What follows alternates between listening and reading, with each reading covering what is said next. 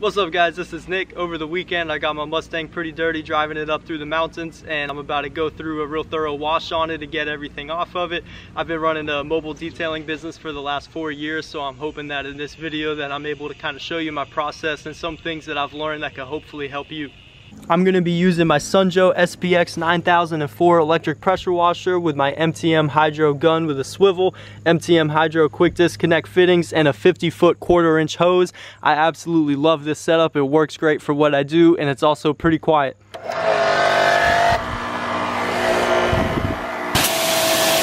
For my business, I use this five gallon bucket with an organizer on it to put all of my brushes in, which is great. I'm gonna show you what I pulled out of it. I have this wheel woolly that I bought off of Amazon for cheap that is absolutely phenomenal. Um, I'm using this very fine detail brush right here. If you were to use a typical boar's hair detail brush like what's over there, it will scratch my very soft black powder coated wheels. So this is perfect. And then to clean out the wheel wells, I'm using this Chemical Guys long handled brush, which is extremely convenient. And that's really about it. I'm not gonna be cleaning the tires today because they're not dirty. They don't really need it.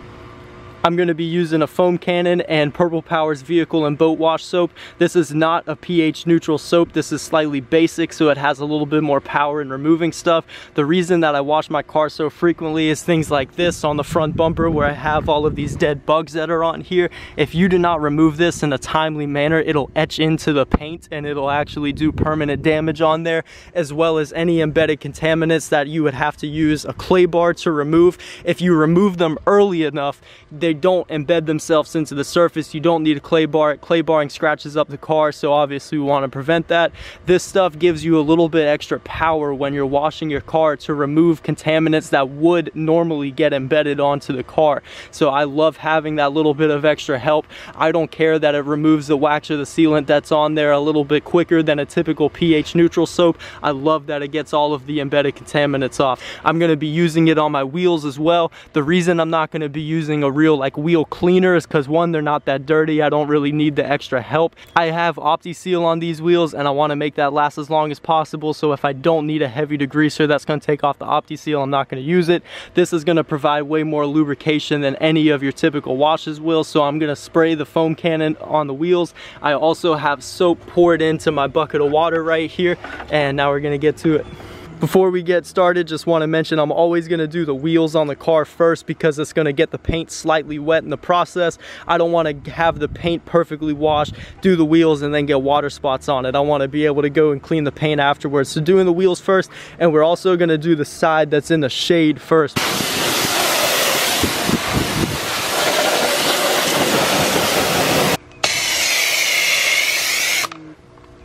The rinse is always going to be the most important part of whatever you're doing, whether it's washing the wheels or washing the paint. So you want to make sure that you take your time to be thorough with it. I'm going to go into these wheel wells first and scrub it out as much as I possibly can with the brush.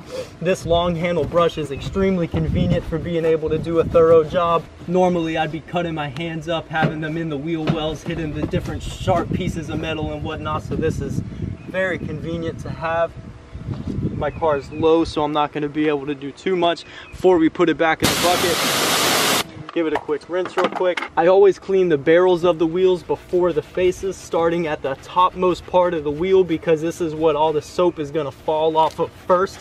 So I'm angling the wheel woolly in here to get it behind the spoke and I'm making sure visually that I'm doing a thorough job on it. While I'm here, I'm also gonna clean the top part of the caliper.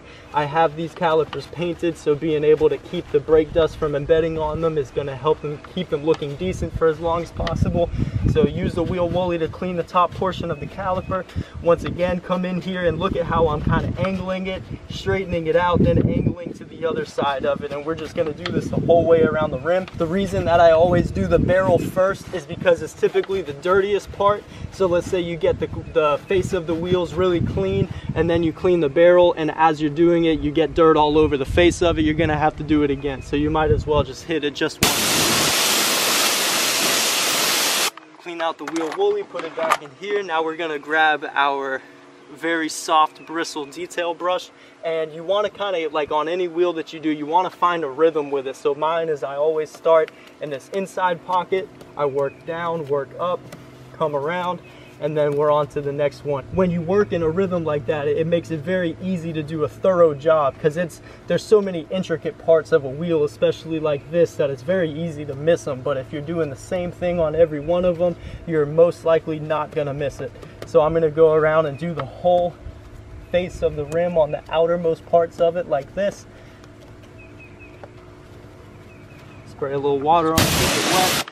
And then now I'm gonna work this inside section of it. So to get in the lug nuts, I'm gonna kind of clean around here, put the brush into the lug nut hole, and then I'm just gonna spin it.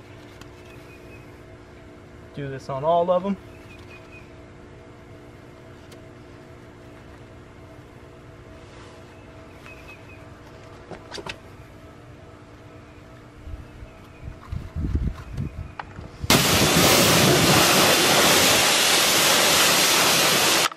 keep it wet. Now I'm gonna go back in and I'm gonna clean the caliper with my detail brush. This is not something that's always gonna be necessary, but this is how I do it on my car because I spent a lot of time painting these calipers. I'm gonna make sure that they're looking right. I just foamed the wheel a second time and the reason for that is whenever it comes time to dry the car, I do not want to have to be removing brake dust that I missed um, during that process because I'm more likely to scratch it. So I'm really just gonna make sure that I did a thorough job on this. And another reason, I'm gonna hit these areas. I'm gonna hit this portion of the rotor, this back portion of the rim because I've spent a lot of time and effort keeping these clean. So that's just something that I'm gonna do. You definitely don't have to do that on your car, but that's kind of the standard that I do things too. So I'm just going around and just kind of hitting all the major spots, getting into the tight areas of the rim that I may have potentially missed. And once I've done that, we're gonna give it one more rinse and then we're on to the next wheel. As a result of having OptiSeal on these wheels, you can see that just after this rinse how hydrophobic it is and how clean these wheels are.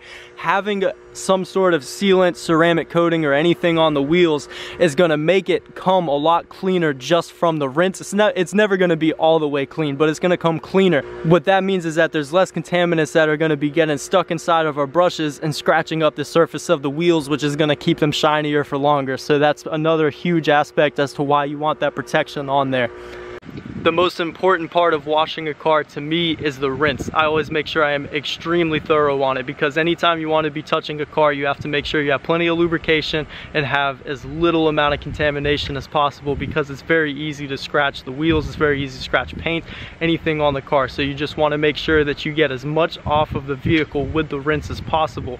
Something that can help with that is using a degreaser on things like dead bugs. So on the front bumper of the car, if you spray it with some super clean or something that's able to start dissolving those bugs and then you pressure wash it all off, you have less stuff that's gonna be stuck on the surface of the car that gets stuck in your wash mitt that then scratches your paint. So that is a good recommendation. I see a lot of people that foam a car, pressure wash it off and then wash it. The only time that I ever find that necessary is if the vehicle has like a bunch of mud on the surface of it, rocks, tar, just any kind of contaminant that as you pressure wash it off could roll down the surface of the paint and scratch it along the way having foam on there will help kind of give it a media that it can travel across and reduce the friction that's being caused so you scratch the surface less.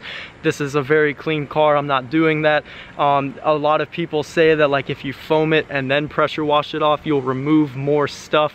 Unless you're using like a really strong soap, like even stronger than this Purple Power stuff, I personally don't notice that it's really any more thorough with the foam than pressure washing it by itself because most of the soaps are pretty like mild. So I think that it's a waste of time unless you need the lubrication for rinsing it off, which I don't.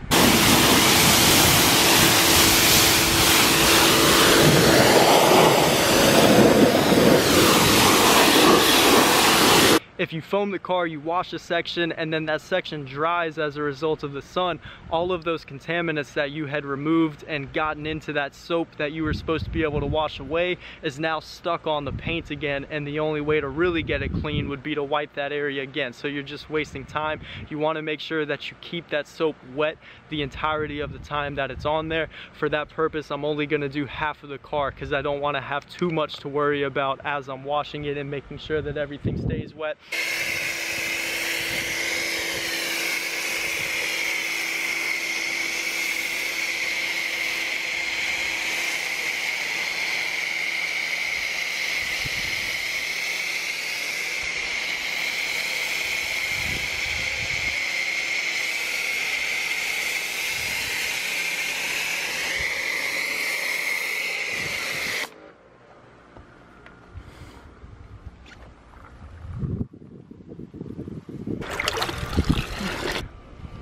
So once again, we're using common sense today. And what that means is that I am washing the side of the car that's in the shade first. And since the side of the car that's in the shade is gonna dry out um, in less time, I also go ahead and hit the whole rear end and the whole front end of the car during this process of the wash. And the reason for that is because if I did it on the other side of it, then I'd have less time to worry about it drying out. So it just works out well. I'm gonna hit all the top surfaces. After I do about two panels, I'll flip to the other side of the micro of the wash mitt these are the Rag Company wash mitts. They're absolutely phenomenal. I'll do a panel or two, flip it over, do the next panel, and then get it wet again, switch to the next one, and I'll go and start hitting the other lower portions of the car. So I'm staying above this body line on the first time that I wash it. Then I'm going to about this body line right here the whole way around the car, and then I'm just very slowly gonna keep working it down. So go to about right here on the door. The trunk is usually always gonna be the dirtiest portion of the car, so I always work that last before I hit this. As you can see, we're starting to dry out. We're just gonna get it wet, just give it a mist. All right, so he gave it just a light little mist. Now we're switching to the washcloth that I used to do the bottom half of the car. And we're gonna start doing the bottommost body line all the way around the car. You have to make sure that when you're washing the front bumper of the car where it gets hit with all the dead bugs as well as the mirror and the windshield that you're looking through the soap to see what's still left on the surface because this isn't an area where you just wipe over it once and it's clean. This is something you actually have to really work. So just make sure you're looking through the soap. No fucking shit, fucking dumbass.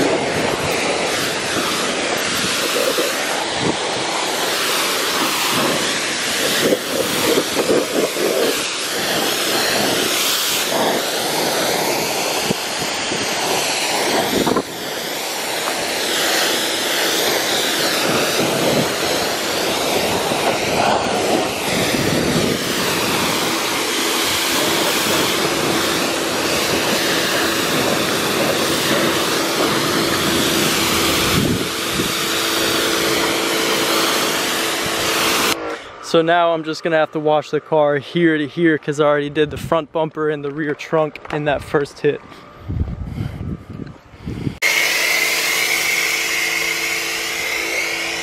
Another tip is that you have to clean under the windshield wipers in order to clean the whole windshield. You only want to have the wipers up for a short amount of period as, as you can because these things will fall pretty quickly and it's possible that in some circumstances it could crack the windshield. And um, if you're doing that as a business, you're doing it for someone else's car, or even your own car, that's a bad day. So make sure that you're careful around those and just know that that is a possibility. So the easiest time to scratch your car is during the drying process because at all other times, like when you're waxing it, you have wax as lubrication. Whenever you're washing it, you got soap as lubrication. But when it comes time to drying it, you just have your drying towel, water, and the car. So there isn't too much lubrication going on. I like using the, um, the bead maker as so there isn't too much lubrication. You need to have some sort of a product to add some lubrication to the drying towel so that you're less likely to scratch it, especially if there's still some dirt left over from the wash, which is a really common thing to have. Uh, in this specific scenario, I'm using Bead Maker because I already have some of it on the car, so it's just kind of topping it off, helping kind of replace what was removed during the wash. Um, when I do use bead maker in this way, I never spray it directly on the car because it'll spot really weirdly if you take like a millisecond too long to start wiping it off. So I just put a few squirts in the towel, work a panel or two, and then going when I'm drying the wheels, I do like to spray bead maker directly onto the surface of them so that I can get as much on there as possible really. And I'm not worried about it spotting quite as much because wheels are not really something that are meant to look as perfect as the paint or a car that you drive often because they're always covered in brake dust and scratched up and whatnot. So I'm not worried about it. I just want as much protection on there as possible so that they're easy to clean in the future, less likely to scratch them, and they got a little bit more shine. So, like I said, I'm using this first microfiber to rub everything in and um, work the product in and dry off the majority of what's on here. And then I'm gonna use this second microfiber afterwards to go in and get it streak free.